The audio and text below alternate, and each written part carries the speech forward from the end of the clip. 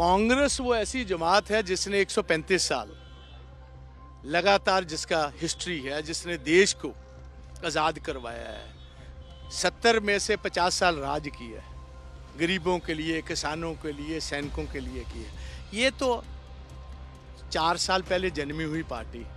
और भगवंत मान का तो मैं ज़िक्र ही कम करना चाहता हूँ क्योंकि इसकी कोई आइडियोलॉजी नहीं।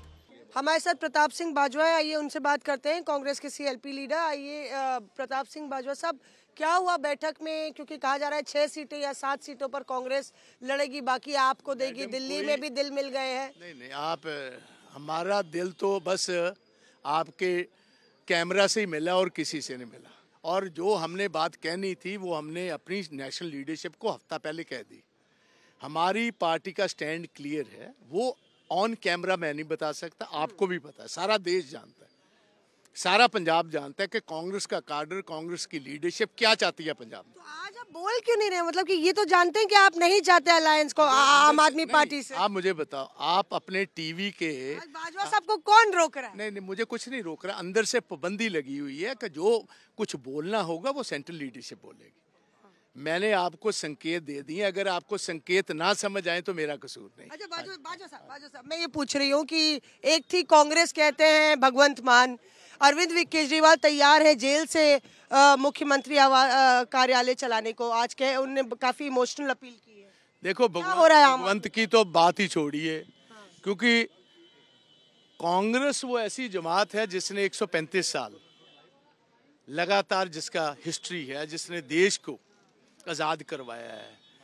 सत्तर में से 50 साल राज किया है। गरीबों के लिए, किसानों के लिए, सैनिकों के लिए किया ये तो चार साल पहले जन्मी हुई पार्टी।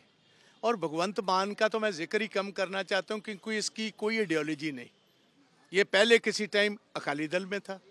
जब वहाँ दाल नहीं गली तो ये चढ़ा गया लोक भलाई पार्टी, एक मिस्टर रामू वालिया की। थी उसको छोड़ा, फिर चला गया ये पीपीपी में।